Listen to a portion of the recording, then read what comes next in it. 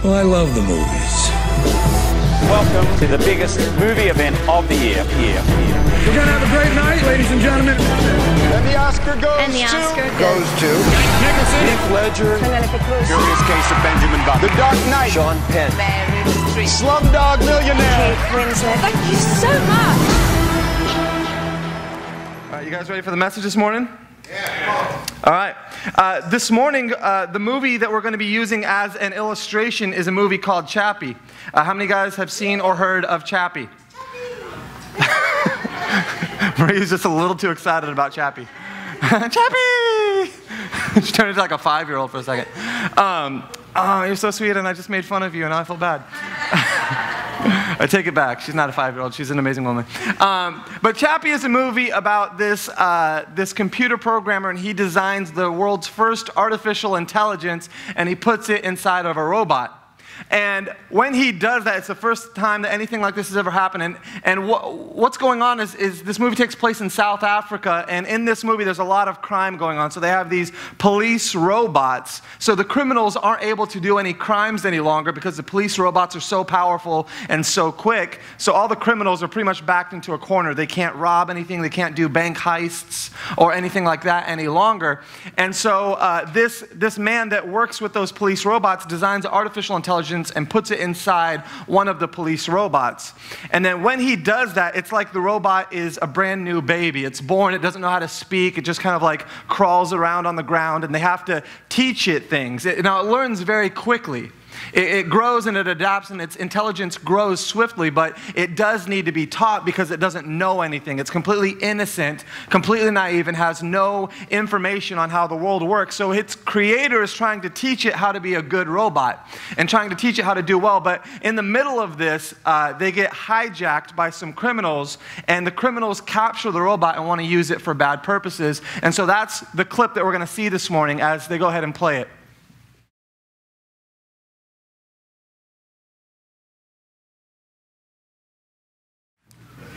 All right. So in this scene, uh, Chappie, the child robot, was kidnapped by some gangsters, some robbers. And in this scene, the, the, the one gangster is uh, calling himself his father. He's saying, I'm your daddy, you have to listen to me. And he's trying to teach uh, this child robot how to uh, shoot things because they want to use him to rob a bank. They want to use him to do a heist.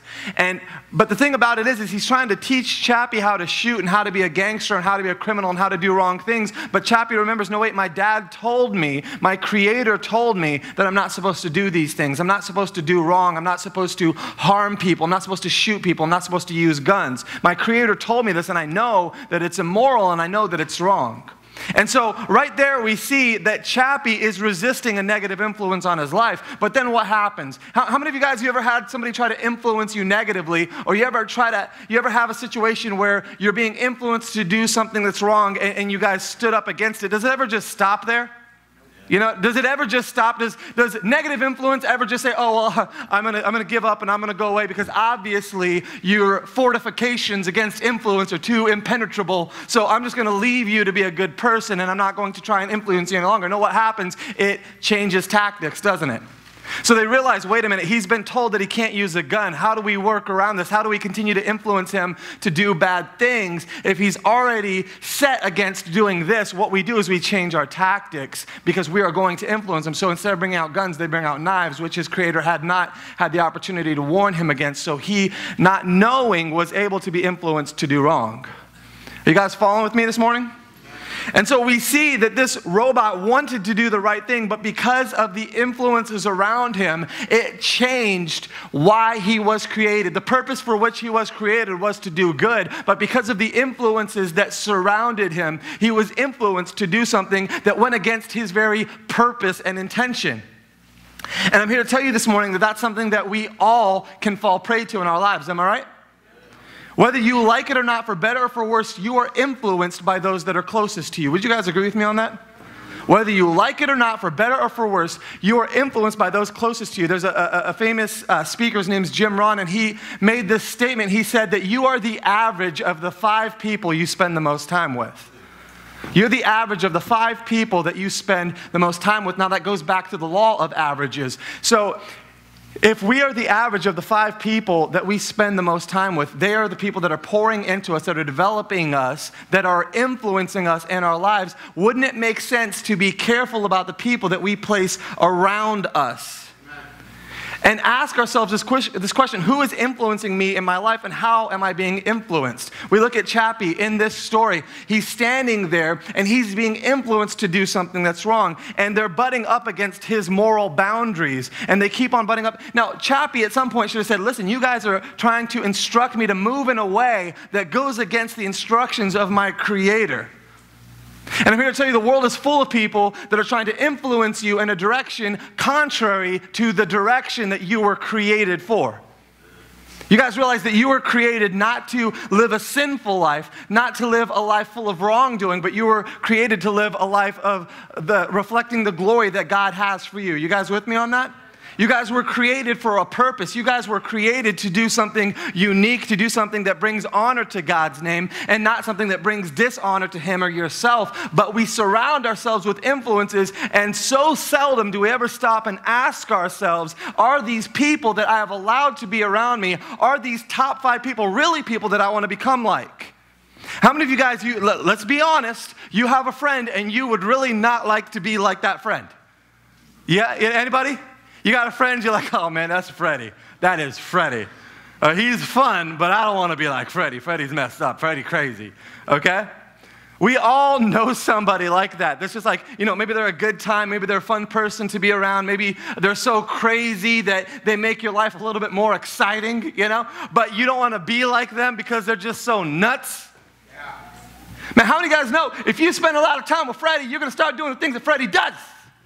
Am I right? if there's somebody in here named Freddie, I apologize. I'm not talking about you. This is a, a fictitious Freddie. but we are all influenced, whether you like it or not, for good or for bad, by the people that we spend the most time with. And I want us to look at the Bible. This is found in the book of Proverbs, chapter 22, verses 24 and 25. If you have your Bible, I want you to raise it up in your hands. You raise it up in your hands if you got a Bible. Okay, Everyone, if somebody next to you is not raising something up in their hands, elbow them in the ribs and say, Shame on you, this is church. no, I'm just kidding, don't do that. That, that would be mean. See, I'm influencing you. Um, Proverbs chapter 22, verse 24 and 25.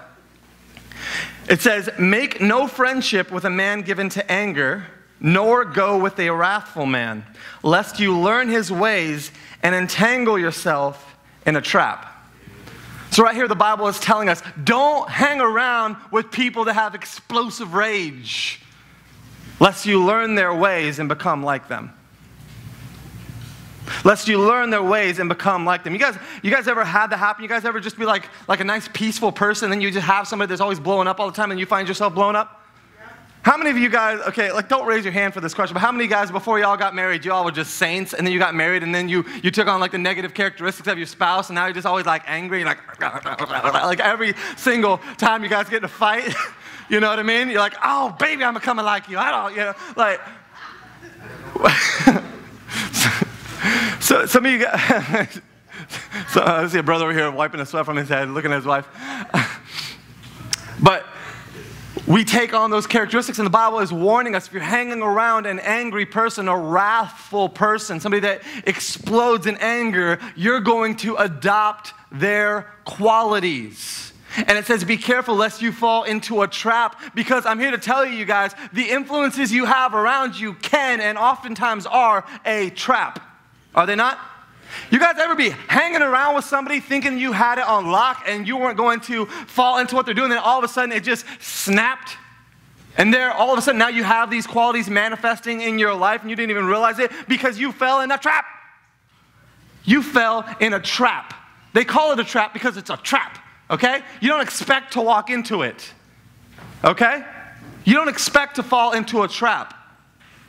And you adopt the qualities and the characteristics of people around you, whether you like it or not. No, not me, Pastor Daniel. I would never adopt the qualities of people around me. I would never, I would, I would, I would never adopt negative characteristics. Yes, you would. You guys ever find yourself like doing something like that, that, that like your parents did, you know, that you swore you would never do? Yeah. Ever? Oh my gosh, I'm my mom, you know? You ever have that happen? When I was a kid, my dad, okay, whenever my dad got really, really mad, he would do this thing, and I always couldn't stand it. But he would get really, really mad. It was like he couldn't contain his anger, and he couldn't wait to let you know how mad he was. And he'd be like, Daniel, you know? and he would do this like this thing like he was high-fiving rapidly in the air, like, no, you know? And he would just, yeah, like, like electric shock therapy. And every time he did it, I just wanted to be like, punch your hand, punch your hand, punch your hand, stop it. Put your hands in your pockets and yell at me normal, you know? and he would always do it. And literally, like uh, a couple of weeks ago, I'm sitting down with Roman, and Roman like just does something just crazy. And I'm like, Roman! I'm like, oh no! I put my hands all the way down in my pockets. I'm like, come here so daddy can yell at you right now. I will never, you get, when you're a kid, you look at stuff like that, and you're like, I will never take on that characteristic. I will not do that. I will never become that. I will never allow that to find its way into my life. That's annoying. That's crazy. But as we grow up, the people that we are around influence us for good or for bad.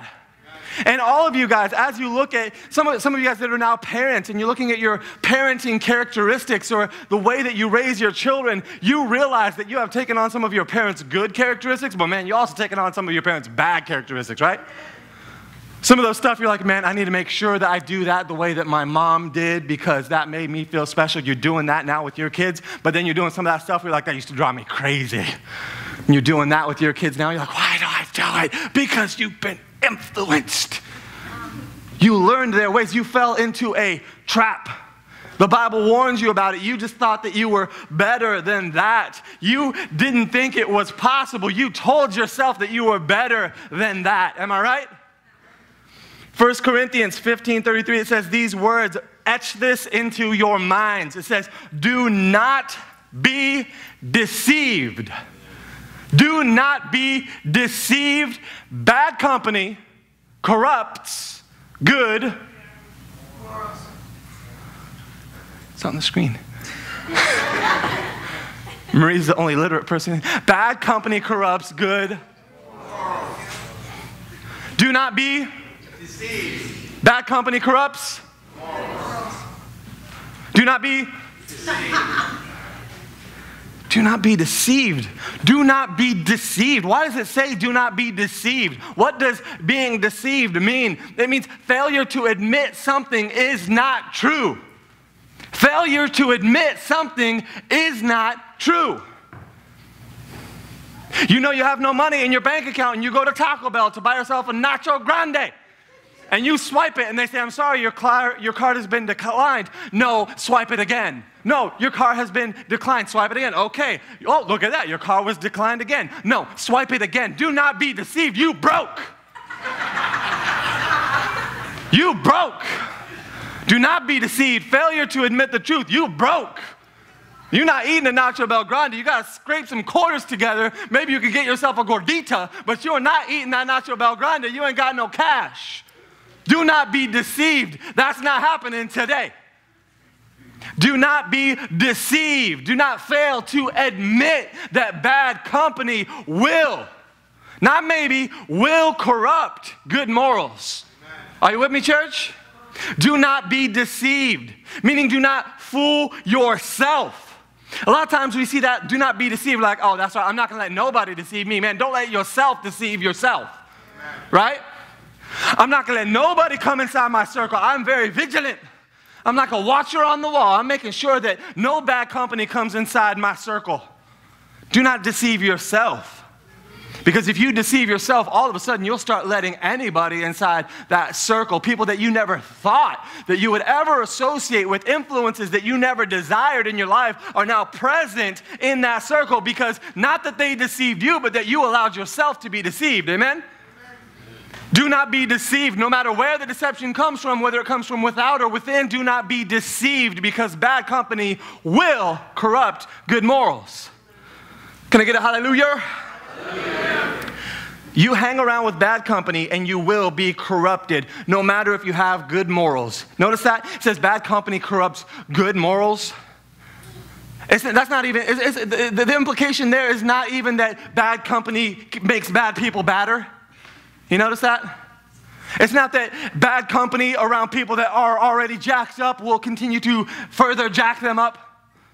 It's bad company corrupts good morals. Oh, I'm a good person. I'm not going to fall into that. I'm not going to make those mistakes. I'm not going to go down that road. You don't understand. I have good morals. No, bad company going to corrupt your good morals. And then you're going to be bad company for somebody else. It doesn't matter the morals you have. We look at Chappie in that clip. This was an innocent robot, okay? He had good morals. He was, a, he was like a child. He was sweet.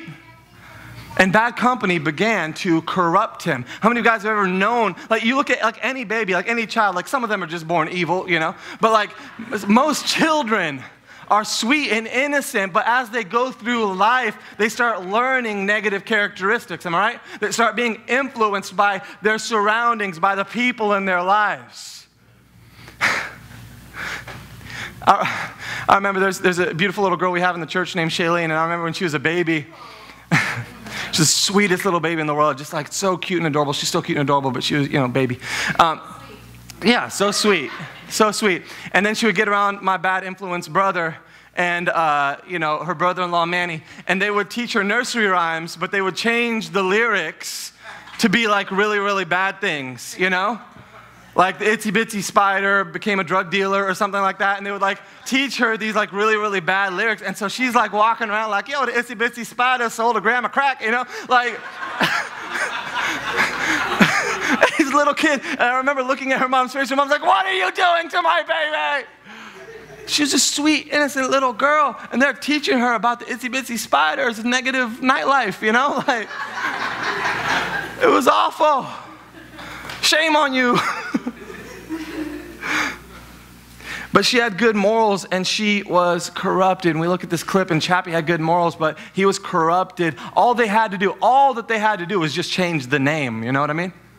They're like, hey, Chappie, we want you to shoot people and murder them. I can't shoot people. My creator told me not to. Oh, well, let's just throw knives at them until they go to sleep permanently. Okay. And that's the way that negative influences work, man. They don't stop they just change the name. They try a different door, they try a different approach. They repackage the same garbage and present it to you with a new song. Are you with me? Do not be deceived. Bad company will corrupt good morals. I don't care how good your morals are, you can be corrupted. And we fool ourselves into thinking because of our morals, because of our standards, that it's impossible for us to be corrupted. And we deceive ourselves, do we not? Oh, I can be in a relationship with an unbeliever and we won't fall into sin because I have good morals. The Bible warns you against that. Oh, I can watch this movie with graphic nudity in it and not uh, feel lustful. Do not be deceived. Do not be deceived you're going to get corrupted. That's going to continue to escalate. Are you with me? Oh, I can, I can do this. I can go down this road. I can uh, venture into these uh, networks. I can go here. I can do. It'll be okay. It'll. I know where I stand with God. Do not be deceived, church. And we rationalize. Isn't it amazing what we rationalize at times? Isn't it amazing the, the, the, kind of stories that we will create for ourselves in order to do the things that we want to do, but that we know we ought not do? Am I right? And we will allow ourselves to enter into situations that we never thought possible because we are allowing ourselves to be deceived. Do not be deceived. Bad company corrupts in spite of your morals, in spite of your strength. No, Pastor Dan, you don't understand how strong of a Christian I am. I am too strong to fall. Man, Samson was the strongest man that ever lived, and he was taken out by a woman in a nap. Are you stronger than Samson? Are you stronger than Samson? A man of God, a Nazarite set apart at birth, strongest man that ever lived, and he got taken out because he rationalized, he allowed himself to be deceived by a woman. Oh, it's okay. I'm gonna go in with Delilah. Bro, gentlemen, you know any woman named Delilah, run. Bad news.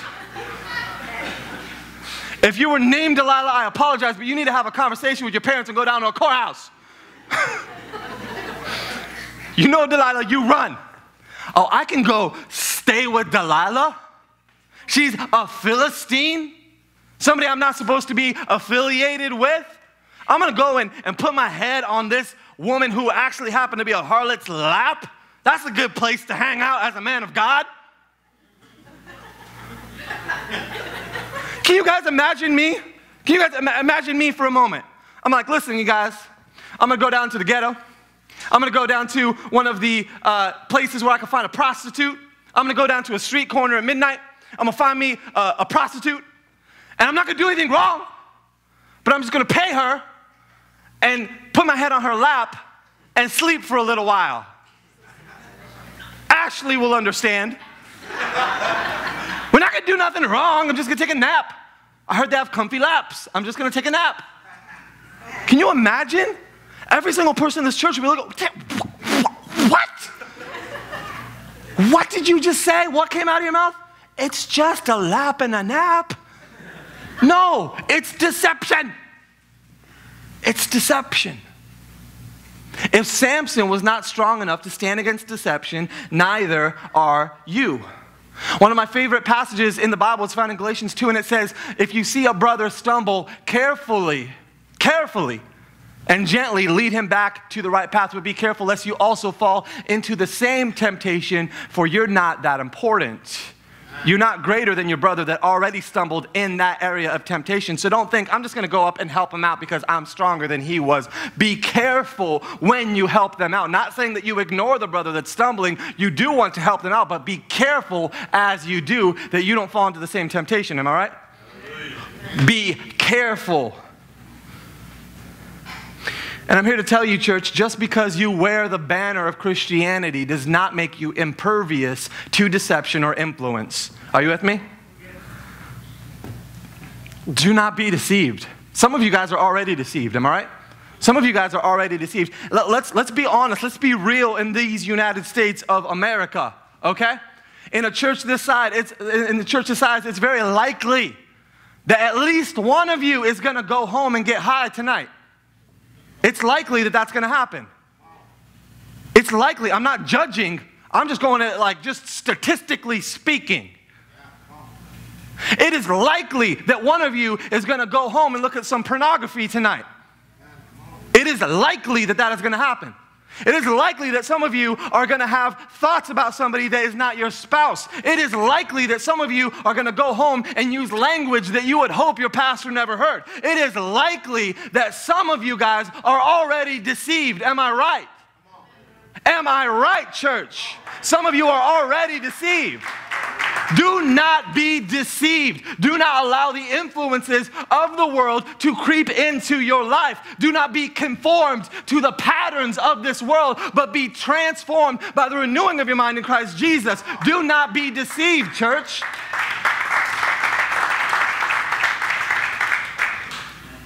And a lot of times we as Christians like to act like all of this deception is happening outside the walls of the church. I guarantee you that many of you guys are deceived right now right now to varying degrees. Some of you guys are seriously and deeply deceived. Some of you guys are beginning the path of deception. The, the, the, the fact remains, though, that many people in this room right now are deceived. Some of you guys are deceived and, and influenced to be religious. You know? Be so legalistic that there's no love of God in your life. It's possible. A great many of us, I believe, are deceived. Let's wake up this morning. Are you guys ready to wake up this morning, church? Even Christians need to understand that Christians themselves can be the bad company. Do you realize that? Christians themselves can be the bad company. When we read that verse, uh, do not be deceived, bad company corrupts good morals. Like, I gotta, I gotta, I gotta, I gotta, gotta get rid of all my secular friends. All my friends are not Christians. I gotta, I gotta call up to, uh, Freddie, especially Freddie, uh, let him know that no longer can we hang out. You know, I got to call up uh, Jacqueline. I got to send some texts as soon as I get out of service. No, uh, Christians can be bad company too. Am I right? Amen. Perfect opportunity to say something about me, y'all. I was just waiting for somebody to say, "Well, Pastor Daniel." I had to come back ready and everything. But we're going to read another passage of scripture that's in 1 Corinthians 5:11. It says, "But now I am writing you that you must not associate with anyone who calls himself a brother, read Christian. Amen? Amen. But is sexually immoral or greedy or an idolater or a slanderer or a drunkard or a swindler, with such a man do not even eat." Ouch! That sounds pretty harsh, doesn't it? Why can't we eat with them? They're our brothers, right? Why can't we eat with them? Because they will influence you. Do not be deceived. It's even more dangerous. You guys ever hang around with somebody that was a Christian and they just started doing something? You're like, you guys ever have that happen? What did you just say? Don't be deceived. They will corrupt you. Now, that's not to say that you need to abandon them, but you need to either push them in the right, the right direction or stand up. If you're in the middle of a meal and somebody starts slandering one of your other brothers and sisters, be like, hey, listen, we're not going to do that here. Do I need to leave? Because I'm not going to be a part of this conversation. I just came up from Canada and uh, I was with a family that I grew up with. They're a, a, beautiful family. They were missionaries over in Fiji, and their dad is somebody that I deeply respect. He's one of the most humble men I've ever seen in my entire life. And there was a wedding going on, and uh, one of the people in the wedding uh, was being a little difficult, and some people at the table started talking about this person, and they tried to bring the dad into the conversation about this person. He goes, I will not speak negative about them. That's not happening. I'm not going to go there. This conversation needs to stop. I'm not going to break bread with slander. This ends. And the conversation stopped. You see that? He wasn't going to be deceived. Oh, you know what? This person is being difficult, and I, I have a story. You know? I, I got to, oh, wait until you hear what I got. Oh, it's okay because they deserve it. No, I will not be deceived. This is slander. And it stops right here, or I'm not breaking bread with you. Are you with me, church? Anybody feel convicted this morning? Nobody says amen, but everyone's like looking at somebody, you know? I, I, seriously, I heard one amen and I saw three of these. Man, y'all already deceived. Why can't we break bread with them? Because they draw others into their folly. Uh, the Apostle Paul understood that some of the biggest potential enemies to spiritual growth were not those outside of those church engaged in blatant sin, but those inside of it, engaged in hidden sin. Amen? Don't be deceived. It comes in all forms. It's not just outside, man, it's inside too. Do not be deceived. And, and, and, and, here's the thing, you guys, is influence is not just who you hang out with. Do you realize that this morning? Influence is not just who you hang out with.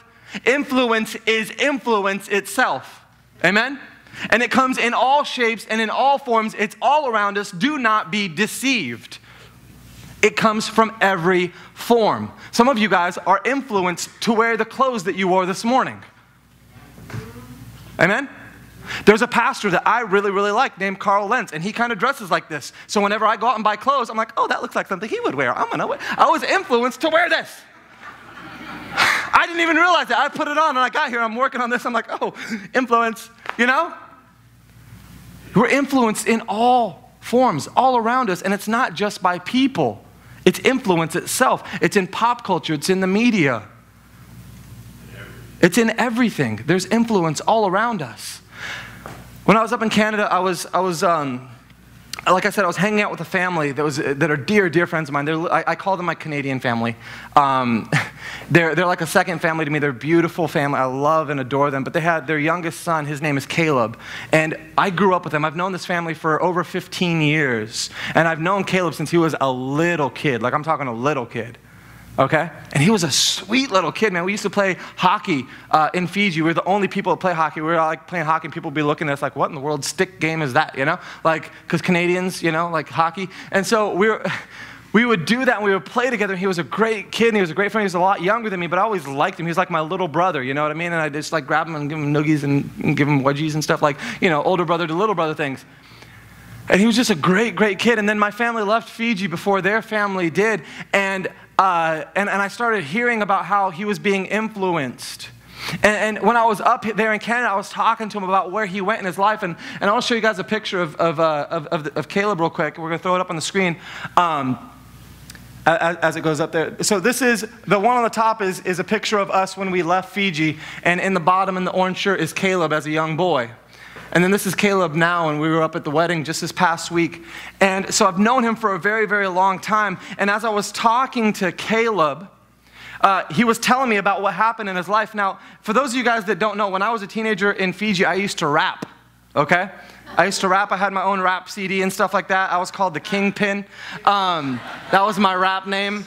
Uh, I wore a lot of bandanas. Uh, but I did Christian rap. And, and when, we, when I was young, I remember Caleb, whenever I would rap, Caleb would just like idolize me. And he would come up to me and like ask me to teach him how to rap. And I remember sitting down with him, helping him write his first rap song. And, and I remember him telling me, man, I'm going to be a rapper just like you. I'm going to be a Christian rapper. And when I was leaving Fiji, he's like, man, I'm going to take your place and, and I'm going to rap and I'm going to do all this stuff while we're gone. But then uh, when, he, when that godly influence left from his life, then he started looking uh, at other influence. He started looking at secular rappers and started hearing the message that they were telling uh, about the lifestyle that you needed to live. It needed to be a lifestyle of, of drinking, of drugs, of uh, crime, and, and of things like this. And he started listening to those influences in media, and they started influencing his perspective, and it started to corrupt his good morals. Are you with me?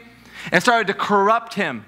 And he went back to Canada with his family to visit, and he got to Canada and he started hanging out with some people that reflected the influences in that music that he was listening to. He started finding people that were in that life saying, Yo, teach me how to live this life because if I want to be a successful rapper, this is how I have to look. This is how I have to dress. These are the kind of tattoos I need to put on my body. These are the, the words that I need to speak and, and the drugs that I need to take. Teach me how to do this. And they, uh, people began to influence him in addition to the media that was influencing him. And finally, his parents go to take him back to Fiji, and at 16 years old, they go to the airport, and he says, I'm not getting on the plane with you guys. I'm staying here. I'm not going back to a life of, of missionary work. I'm not going back to a life serving God. I'm staying here with my friends and my influences that I have. You cannot force me on that plane. If you try and get me on that plane, I'm going to fight you. I am not going back. And he stayed in Canada at 16 years old and surrounded himself with bad influences, and he became like a Canada criminal which compared to American criminals is not that bad. But in Canada, he was notorious. He would, his, his, his thug name was KB, or no, 2K, and he would spray paint 2K everywhere, all over uh, his city of Lacombe. And he's, he spray painted the cop cars. He went to the police station, spray painted cop cars, and he went and he broke into places. He did breaking and entering. They stole a $2 million yacht and drove it around and brought it back. And fortunately, we're not caught or arrested, but he did all kinds of bad things and he developed a reputation as that thug. He was influenced to be this person, and that is exactly who he became. And he was influenced and he continued to watch his life deteriorate, and he made worse and worse decisions. And his brother, one time, my, my best friend, uh, Josh, was pulled over by a cop one time. And when the cop read his license, like, Are you related to Caleb Bloomfield? It was like so mad and started yelling at him about how crazy his brother was because he had a reputation in that town, and all the cops knew him. And he went out, and this was a, a, young man that was raised in the church, and he got a girl pregnant when she was 14 years old, and he was 16, and they had to give the child up for adoption, and he was involved in drugs and, and craziness. And then one day, he had been influenced so far that he said that he was literally at rock bottom. He was sitting in a bar, drunk and high, sitting there just thinking about how terrible his life had gotten and how low he had fallen, and thinking about how miserable he was and how he didn't have anywhere else to go at this point because he had been influenced so much that he had fallen and hit rock bottom.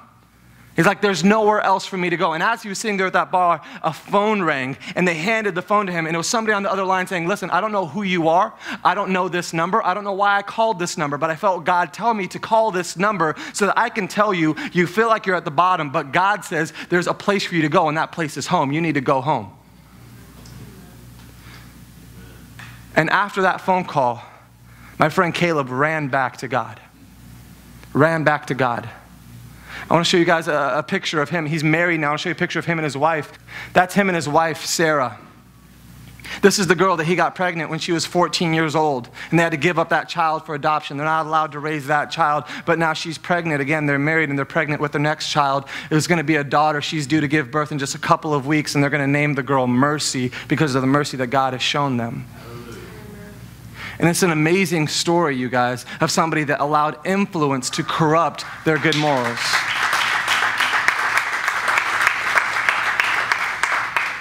And they allowed influence to corrupt their good morals. But isn't it amazing how God can influence you once more? All of us are being influenced. All of us. If I would ask Caleb as a little child, do you think you'll ever go to this place or do these things? He would have told you, absolutely not. But it took all, it started with music. And music influenced him. And then friends continued to influence him. And he never would have thought that possible, but influence will take you places that you never thought you would ever go. All of us are being influenced. It's just a matter of by whom. Proverbs 13 20 says, Whoever walks with the wise becomes wise, but a companion of fools will suffer harm. Who do you want to become? Who do you want to become? Do you want to be a companion of fools, or do you, be, you want to be around wise people and become wise? I'm telling you, in my life, you guys, one of the best decisions I ever made was I started looking at people who had the lives that I wanted to emulate, and I started getting near them and asking questions. How do you do that? If I saw somebody that was a good husband, I would, I would watch them. I'd come around them. I'd say, how do, you, how do you treat your wife in that way? I want to learn that. If I saw somebody who was a good parent, I'm like, how do, you, how do you discipline your children? How do you make sure that they behave that way? I want to learn that characteristic. If I, if I saw somebody who was a good pastor, I'd go up and say, well, how did you learn that? How did you get to this place? What lessons is God teaching you? Because I don't want to walk in the path of the fool and become a fool. I want to walk in the path of the wise and become wise. Who do you want to be influenced by, church? Who do you want to be influenced by? Who do you want to become? Who do you want to become? You want to become like that person that you listen to on the radio? That's the end result. That's the end result. That's the lie. They tell you a lie to deceive yourself into thinking that this is a glorious lifestyle. It's not. It ends in destruction. Who do you want to become? Find somebody that embodies that and hang out with them. Find somebody that is who you want to become and spend time, but they never invite me anywhere. Invite yourself. Hang out with them. Amen? Amen?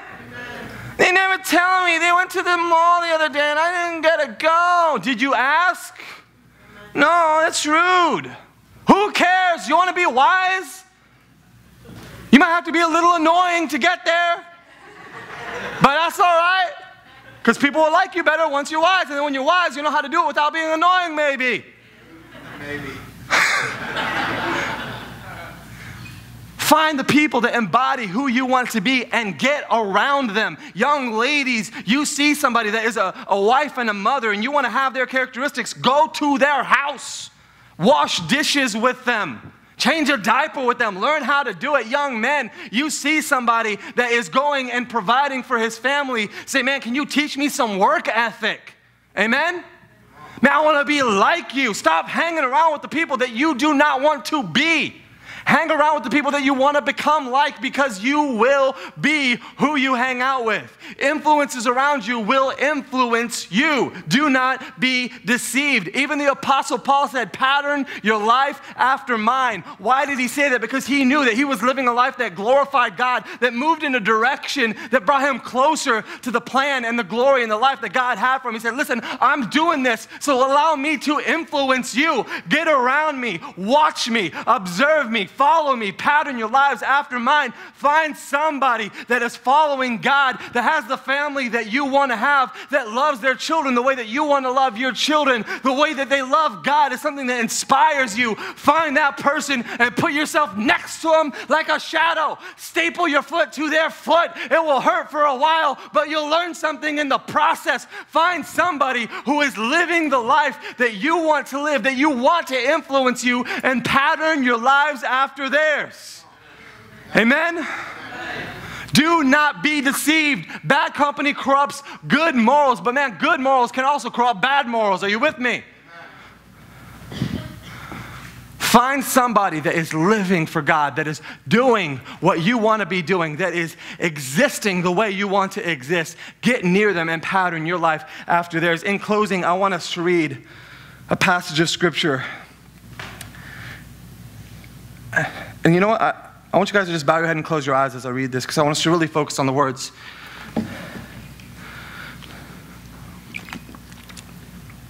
This is found in Psalm chapter 1. This is actually the entire chapter of Psalm 1. I promise it's short. But the, the Psalms are called wisdom literature. So it's interesting to me that the wisdom literature opens up with the very first chapter being about influence. Bear that in mind. Psalm chapter 1 says this Oh, the joys of those who do not follow the advice of the wicked, or stand around with sinners, or join in with mockers. But they delight in the law. Read that the influence of the Lord, meditating on it day and night.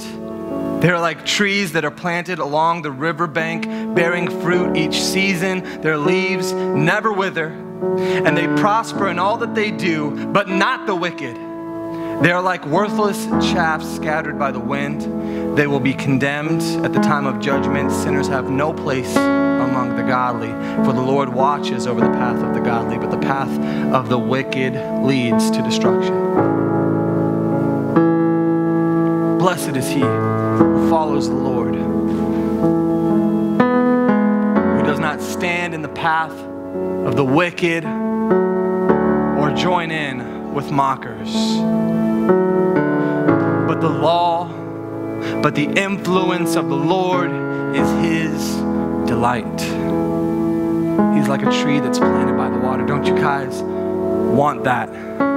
What sounds more appealing to you this morning? What sounds more appealing? This morning, I want to ask you a question, just really briefly, man. Is there anybody in here who has not been influenced by the saving grace of Jesus Christ? You do not have a relationship with Jesus. He is not your personal Lord and Savior. You would not identify yourself perhaps as a child of God, and you would like to make that commitment this morning and say, I want to be influenced by God in my life. I want my life to belong to Him. I want you to raise your hands this morning and say, Pastor Daniel, that's me, and I would like God to begin to influence my life. Anybody at all, that's you. Raise your hand? Anybody, church? And now I want to talk to the rest of you guys this morning. Blessed is he who follows the Lord, who follows, who delights in his influence, who does not walk in the path of the sinner or join in with the mocker. I want to ask you this morning, church, to be honest with yourselves and say, man, have I allowed myself to be influenced? Am I walking in the path of the sinner? Am I joining in with the mockers? Am I watching stuff on my computer that influences my heart against God, against my spouse? Am I saying words? that God would not be pleased with? Am I allowing the mouth that God gave me to speak blessings to speak curses? The voice that God gave me to raise in praise, am I allowing it to be influenced to be raised in anger? Am I going to leave this church building after lifting my hands and go back into the world and be influenced by it? Am I going to conform to this world or am I going to allow God to transform my mind? Which influence do you choose this morning, church? Which influence? I want to ask, I mean, this is not an admission of how much you've influenced, you've been influenced, but this is an admission that you want to be influenced by God and God alone. I want you to stand up and say, I want to be influenced by God and God alone. I want you to stand up and say, I want to be influenced by God and God alone. I want to be He that is blessed because I walk in the path that God has set before me, who is delighted in the influence of God and meditates on it day and night. I want to be influenced by God. I want God's Spirit to be all that I need.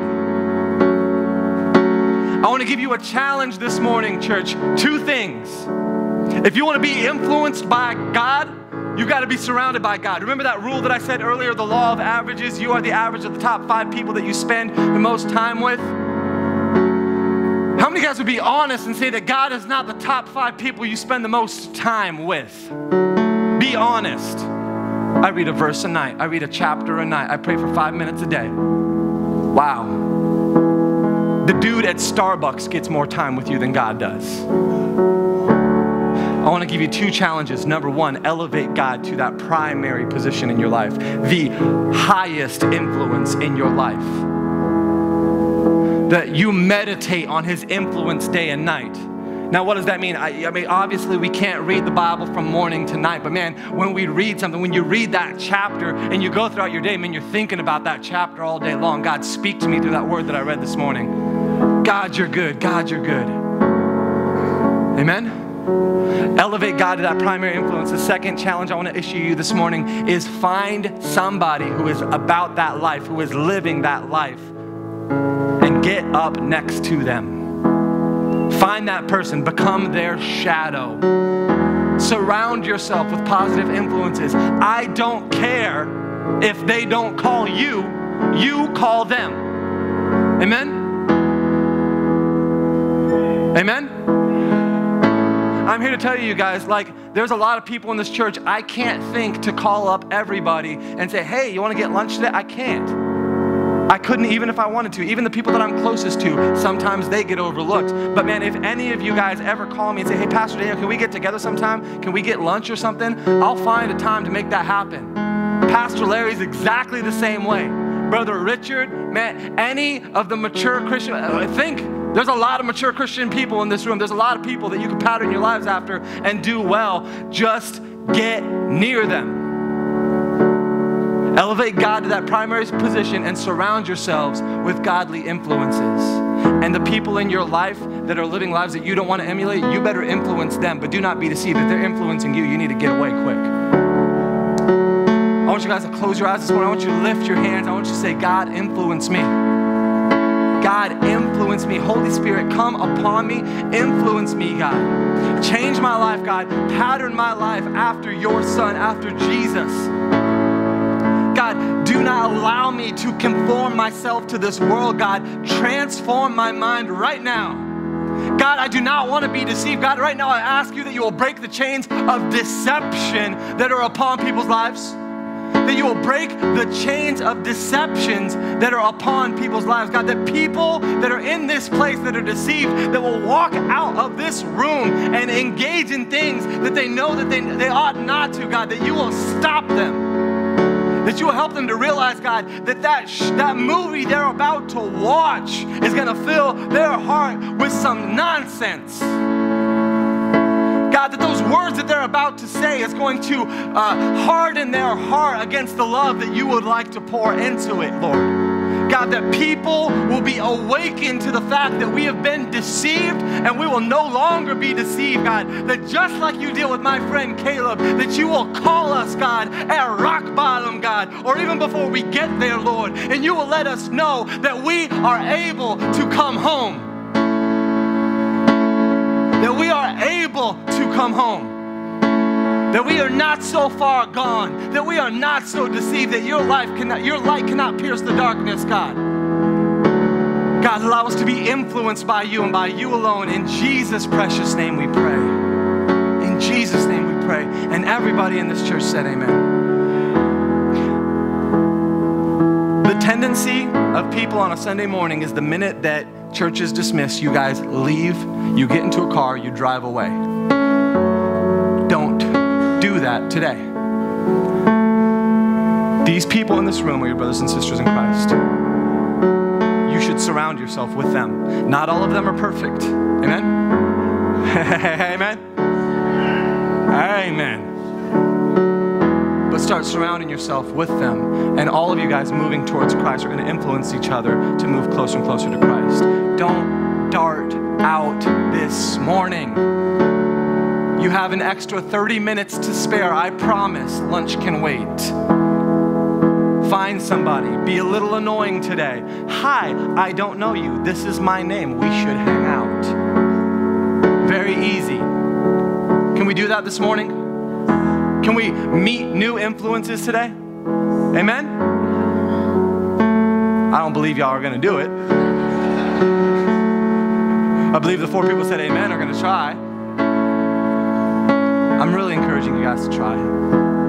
It's your family, is your home. Surround yourself with your family and continue to motivate each other and push each other towards being influenced by God.